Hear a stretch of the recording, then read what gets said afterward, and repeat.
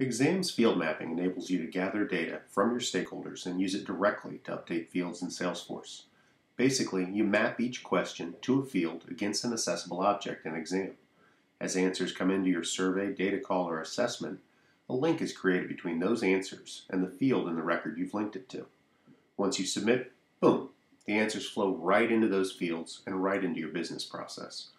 For example, if you're doing a large scale data call about your call centers, you can use the answers that are being provided to update the fields against the fields of a call center object in your Salesforce org.